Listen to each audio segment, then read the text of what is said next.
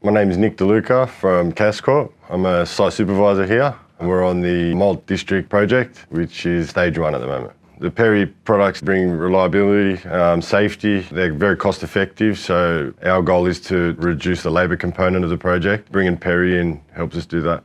So it's not only the PERI product that stands out, it's the service and engineering, the logistics behind it, you know, the service that we get all stands out.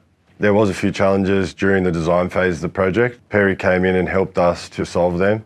We needed some additional brackets attached to the screens to adhere to our clients' um, safety regulations. PERI came to our aid and yeah, designed them up especially for us, and we were able to install them safely and use them safely on the structure.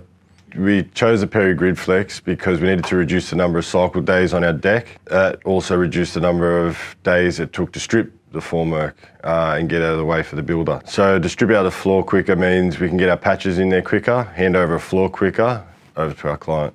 So the PERI jump form jumps in a single stroke ram. We're jumping one whole floor in about 20 minutes.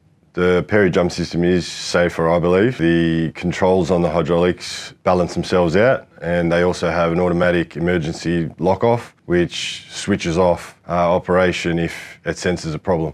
So the PERI jump form is designed with Maximo shutters inside. The Maximo shutters are a single side lock off system, so you're only turning the tyre from one side. Makes it a lot easier, a lot faster, and a lot safer. We will be using PERI again in the future, especially for the jump forms, because this one's a bit of a game changer.